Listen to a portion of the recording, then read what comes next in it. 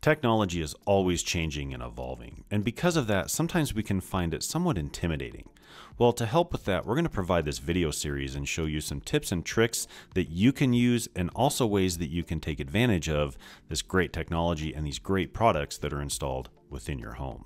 Let's jump in and take a look at some of the devices that we commonly find installed in smart homes. The first is the Ruckus ICX 7150. The 7150 is a switch which interconnects all of our devices together. Your access point will be connected to it, and your internet service provider connection should be attached to it as well. The 7150 has a pretty important role within a smart home.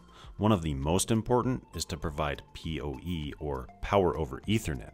What we mean by that is the blue Ethernet cable that's running from the 7150 to the R510 mounted behind it is providing power to that R510 access point.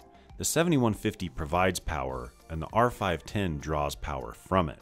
There's no need with the R510 to have an external power cord connected to the wall.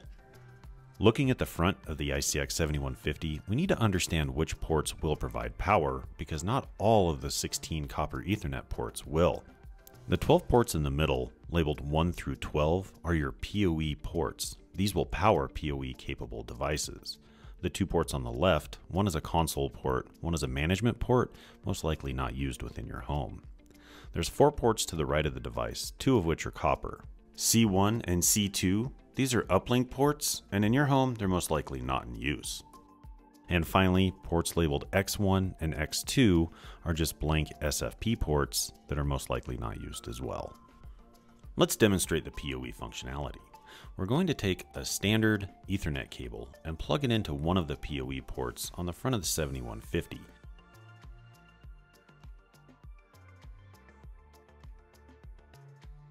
Now as we look at the underside of the R510, we see that there's two copper Ethernet ports installed here as well, one of which is labeled PoE.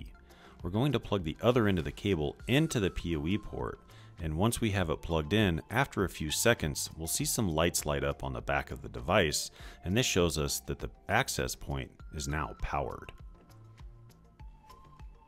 Now that we've connected the 7150 to the R510 and powered our access point, we can also note that we have a green LED lit in the port with the ethernet cable connected to it on the 7150. This is a link light and it shows that it is now established link between the R510 and the 7150. If you ever need support on your Ruckus R510 access point, you're going to need to obtain the serial number and MAC address on the unit. It's located on the bottom of the device. However, if your device is attached to the wall, there's a little trick I'm going to show you in terms of releasing it and removing it. On the front panel of the access point, there's a small pinhole that we use to release the access point from its wall mounted location there's a key provided with the original packaging material that you can use to release the device. As you can see, when the key is inserted into the pinhole, it releases the pin that locks the device into place in the wall mounted location. As we demonstrate, if you no longer have the key, I'd recommend trying to find something of similar material as the locking mechanism is pretty durable. If for any reason we ever need to reset our access point back to factory default, Next to the PoE port is a reset button. We're going to use the key to reset the device.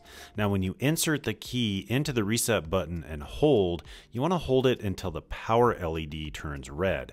At that point, we need to release it. If we hold that button longer than 30 seconds, you run the risk of not being able to recover the access point. We don't recommend resetting your access point unless you're actively working with Ruckus support and they recommend you do so. This is just to give you a visual representation of how to perform the reset. Let's go over the LEDs on the R510 access point real quick. The power light should always be green or sometimes amber. If it's red, then the access point is either booting or there's an issue. If you have more than one access point installed in your home, then the control light will always be green. The 2.4G and 5G LEDs, they will always be amber or green. When they're green, it means that your wireless network is up and operating with clients connected to it. And if they're amber, it means that the network is up, but there are no clients connected to it at this time. Thanks for watching. That's it for this video. Keep an eye on our channel. There's plenty of other content that you should find useful. And finally, congratulations on your new home.